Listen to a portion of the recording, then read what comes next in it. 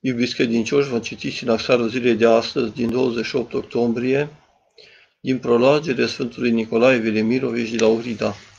Așadar, Sfântul Nicolae Velimirovici, prologe de Ohrida. Sinaxar 28 octombrie. Pomenirea Sfinței Mucenițe Paraschevii. Aceasta s-a născut la Iconium din părinți foarte bogați și iubitori de Hristos. După moartea părinților ei, Fecioara Paraschevii a împărțit toate averile ei săracilor și scăpătaților, într-un numele Domnului și Stăpânului nostru Isus Hristos. Izbucnind prigoanele împotriva creștinilor sub Deocrețian, Paraschevia a fost adus, dusă și ea la judecată înaintea guvernatorului acelui ținut. Întrebată fiind de nume, ea a răspuns că numele ei este creștină. Certată fiind de judecător pentru că pentru că vrea să-și ascundă identitatea, Sfânta Paraschevia a răspuns, mai întâi trebuie să-ți dezvălui cum mă numesc eu în veșnicie și numai după aceea să-ți dezvălui numele meu trecător pe acest pământ. Paraschevia a fost biciuită sălbatic și apoi aruncată în temniță. Acolo s-a pogorât la ea un înger al Domnului, care a vindecat rănile și a întărit-o. Sfânta Paraschevii a dărâmat la pământ cu rugăciunea idolii dintr-o capiște idolească, după torturi bestiale și prelungite, Sfânta Paraschevii a fost decapitată cu sabia și așa și-a strămutat, mucin... și-a strămutat mucenicesc cu ei suflet la cereștile lăcașuri. Tot în această zi, pomenirea Sfântului Arsenie, arhiepiscopul de Peci. Acest Sfânt Arsenie a fost un mare ierarh al Bisericii Sârbe, care a urmat Sfântului Sava. El s-a născut la Srem. Încă din fragedă tinerețe a fost un monac și s-a închinat pe sine cu totul, cu tot cugetul și cu toată virtutea călugăreștilor nevoințe și mântuirii sufletului. A fost primit de însuși Sfântul Sava în mănăstirea Zicea auzind de marele sfânt erar al sârbilor Sava și de faptele lui, Arsenie a mers la mănăstirea Zicea, unde marele sfânt Sava l-a primit cu dragoste și l-a numărat în rândurile oștei sale de acolo. Văzând marele lui vir- virtuți, Sfântul Sava l-a lăsat pe Arsenie egumen al mănăstirii Zicea în locul lui. Atunci când ungurii au atacat pământurile sârbești, Sfântul Sava l-a trimis pe Arsenie mai la sud, cu ascultarea de a căuta un loc mai potrivit și mai retras decât la Jicea, în care să poată ridica și adăposti centrul metropolitan al episcopiei. Arsenie a ales ca nouă fortăreață a episcopiei să fie Peci și acolo a înălțat Sfânta Mănăstire închinată hramul Sfinților Apostoli, care mai târziu a primit hramul înălțării Domnului.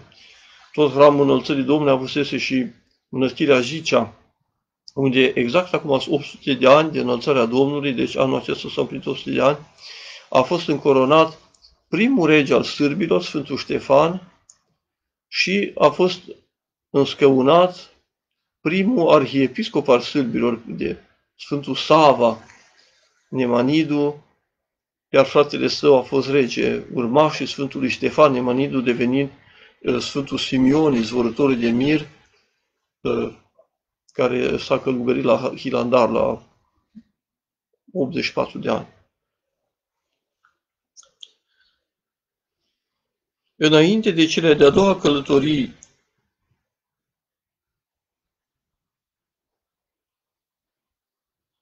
ea Sfântului Sava la la Ierusalim, acesta l-a sfințit pe Sfântul Arsenie, succesor al său, în scaunul episcopal, iar atunci când Sava s-a săvârșit către Domnul, la Târnovo, pe drumul de întoarcere de la Sfintele Locuri, în alt preasfințitul Arsenie, i-a cerut stăruitor lui Vladislav, regele tuturor sârbilor, să aducă moaște Sfântului Sava în pământul sârbesc natal. Sfântul Arsenie a păstorit Biserica lui Dumnezeu din Serbia, cu înțelepciune vreme de peste 30 de ani. El s-a săvârșit către Domnul la 28 de zile ale lunii octombrie, la anul 1266. Pe peretele altarului mănăstirii, altar bisericii Peci, bisericii mănăstirii Peci, stau scrise următoarele cuvinte. Stăpâne, Doamne, Dumnezeu nostru, auzi merită rugăciunea mea, cercetează și binecuvintează locul acesta. Pomenește-mă și pre mine mult păcătosul Arsenie. Sfântul Arsenie s-a îngropat în interiorul mănăstirii Peci. Tot în această zi, pomenirea Sfântului Mucenic Terentie. El a fost din Siria și a luat mucenicia pentru Hristos împreună cu soția sa Neonila și cu cei șapte copii ai lor. După torturi prelungite și bestiale, pentru care s-a arătat înaintea tuturor puterea lui Hristos, toți părinții, toți nouă, părinții și copiii, au fost omorâți prin decapitare cu sabia. Tot în această zi, pomenirea Sfântului Ștefan, Savaitul. El a fost alcătuitor de canoane minunate închinate sfinților. El s-a nevoit într-o călugărește nevoințe la mănăstirea Sava cel sfințit. El a mai fost sfințit și arhiereu, săvârșindu-se cu pace la anul 807. Tot în această zi, pomenirea Sfântului Atanasie, patriarhul Constantinopolului. Acest Sfânt Atanasie, patriarhul, a fost un luptător aprig împotriva nelegiuite uniri cu Roma, așa cum nu a fost predecesorul său Ioan Vecos, 1275-1282. El a fost un mare și nevoitor om al rugăciunii, încă din fragedă copilărie. Sfântul Atanasie a fost iubit de popor, dar și foarte urât de anumiți clerici pentru marea asprime a vieții sale monahale la care îndemna pe cei împreună slujitori cu el. El s-a retras într-o mănăstire pe muntele Ganos, unde s-a nevoit cu încă și mai mare asprime atunci când se afla încă cu și mai mare asprime decât atunci când se afla pe scaunul patriarhal. Stăpânul nostru Iisus Hristos s-a arătat lui acolo și l-a mostrat cu blândețe. Pentru aceea el și-a lăsat turma pradă în ghearele lupilor, pentru că a prorocit ziua în care Constantinopol va fi zguduit de un cutremur, împăratul Andronic l-a repus în scaunul lui în pofida voiei lui. De aceea el a părăsit iar în taină palatul patriarhal, retrăgându-se în viața tuturor nevoinților monahicești cea iubită lui. El a trecut către Domnul la vârsta de 101 ani. Sfântul Atanasie, patriarhul Constantinopolului, apobăzător cu Duhul și făcător de minuni. Tot în această zi, pomenirea Sfântului era Dimitrie al Rostovului. Acest Sfânt Dimitrie a fost un mare ierarh al Bisericii lui Hristos, mare predicator și scriitor bisericesc și ascet. El s-a născut în apropiere de Kiev la anul 1651 și s-a săvârșit la anul 1709 iată, la vârstă de doar 58 de ani. Pentru multele și minunatele lui cărți de învățătură și zidire sufletească se numără și mai ales vestita traducere și publicare de către el a vieților sfinților. El și-a cunoscut ceasul morții mai dinainte cu trei zile, ca el să fie și și-a dat, și-a dat Domnului Sfântul său suflet în vreme ce stătea la rugăciune. Sfântul Dimitrie al Rostovului a fost un mare luminător al Bisericii Ruse și a întregii ortodoxii.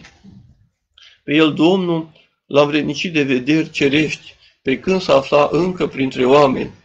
El l-a slujit pe Domnul Dumnezeu nostru cu râne de foc, cu frică și cu cutremur. Pentru aceasta, el s-a sălășluit cu bucurie în lăcașurile împărăției cerești grăite, gătite lui de către Domnul.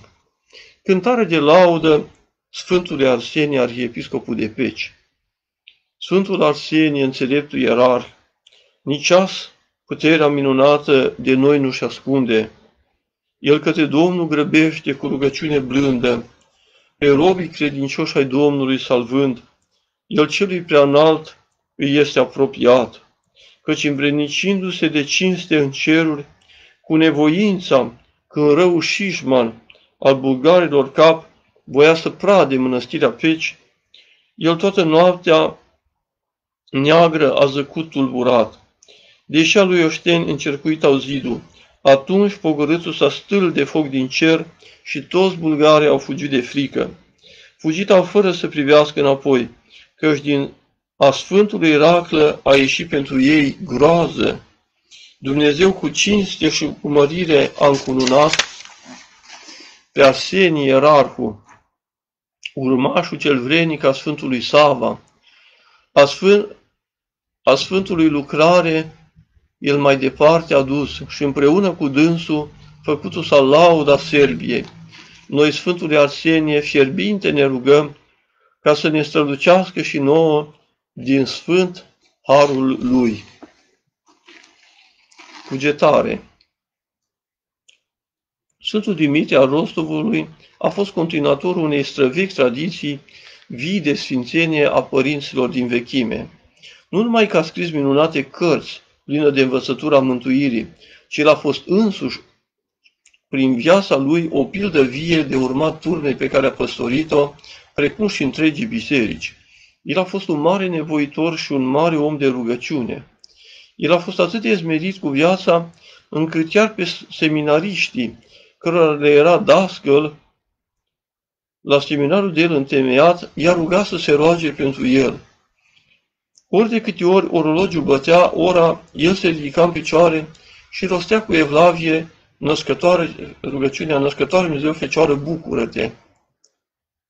Ori de câte ori zăcea bolnav, ceea ce se întâmpla adesea, el cerea fiecărui seminarist să rostească pentru el de cinci ori rugăciunea Tatăl nostru, în timp ce meditează asupra celor cinci răni ale Mântuitorului Iisus Hristos.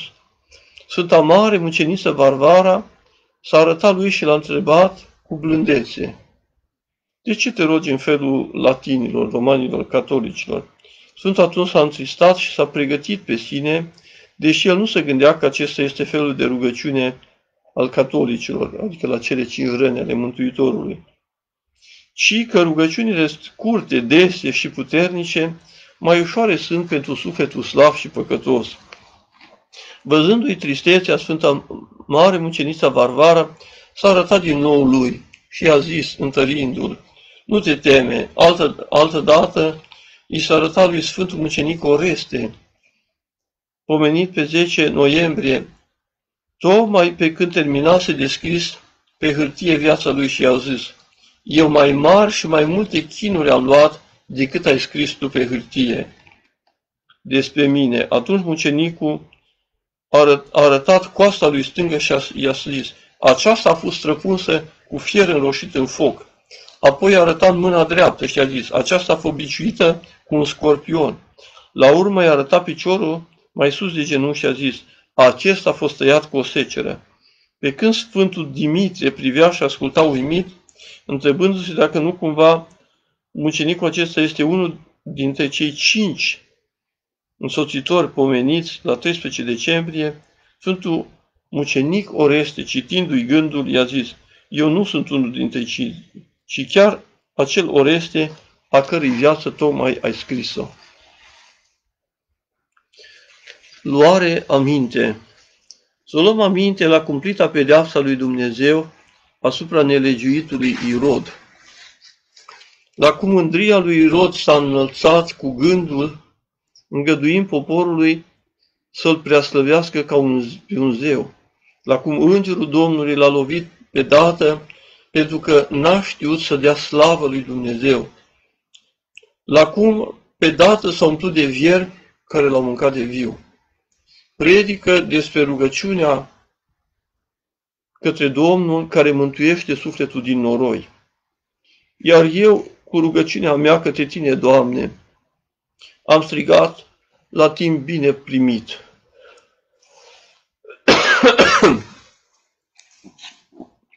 în, în traducerile, în unele traduceri se spune, iar eu către tine, Doamne, am strigat la timp bine plăcut. Dumnezeule, în mulțimea milei tale auzi-mă, în tot adevărul milei tale, mântuiește-mă de noroi ca să nu mă afund. Psalmul 68, versetele 15 și 17.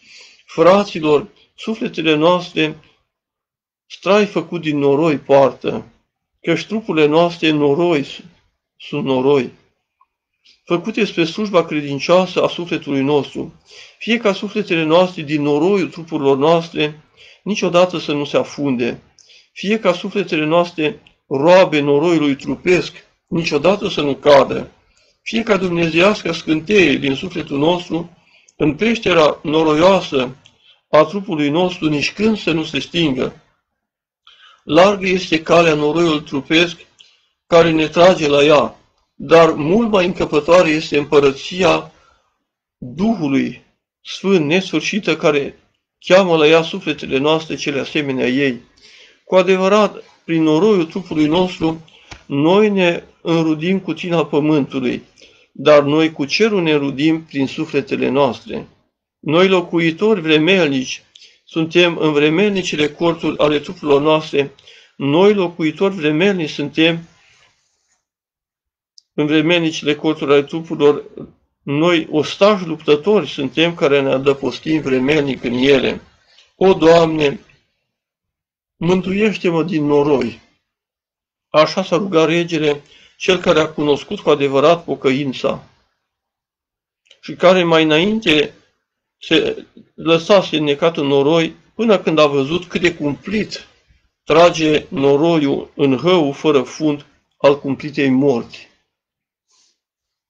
Noroiul este trupul omenesc, cu fantasmele și fanteziile și închipuirile lui. Dar noroi sunt și cei ce pururea prigonesc în toate felurile pe drepți. Noroi sunt și hidoși și diavol cu îngrozirile lor. Fie ca Domnul să ne izbăvească pe noi din noroi acesta, căci numai El este puternic să o facă. Noi mai întâi trebuie să luptăm din toate puterile noastre ca să putem vedea pe dușmanul nostru cel dinăuntru, adică pe dușmanul cel cumplit, care îi atrage înăuntru și pe cei din afară, pe cei dușmani. Adică dușmanul dinăuntru este necredința și Duhul, Duhul necredinței și al mândriei care este noi, al satanei. Prin urmare, vedem că cea mai mare nenorocire a omului păcătos este aceea că el, inconștient și fără să vrea, să aliază cu cei mai cumpliți dușmani ai lui, cu dușmanii lui de moarte, adică cu Duhul păcatelor. De când Dumnezeu întărește sufletul în Dumnezeu și în împărăția Lui, iar, adică cel ce își întărește om, în suflet, omul drept, omul sfânt, își întărește sufletul în Dumnezeu și în împărăția Lui nu se teme. El nu se teme de sine însuși, prin urmare nu se teme nici de dușmanii Lui din afară, el nu se teme nici că s-a făcut complicele sau aliatul dușmanilor sufletului Lui.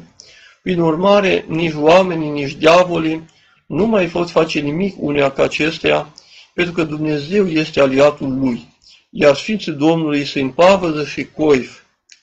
Ce va putea face lui omul? Cel ce vor putea face unea ca acesta diavolii? Cum îi vor putea vătăma tina noroiul? Sau cum îl vor putea vătăma pe el tina sau noroiul? O stăpâne Doamne Iisuse Hristoase, cel ce ești unul drept, în Sfânta Trăime, cel ce ai suflat în trupurile noastre suflare de viață și ne-ai făcut pe vii, pe noi, miluiește-ne prin noi. După mare mila ta și îndurările tale și nu ne lăsa pe noi să ne afundăm în noroi, adică în lucrarea poftelor și închipuirilor trupești. Că ție se cuvine slava, cinsta și închinarea împreună și Tatălui și Duhului Sfânt în vecii vecilor. Amin. Dumnezeului nostru slavă, acum și pururea și în vecii vecilor. Amin.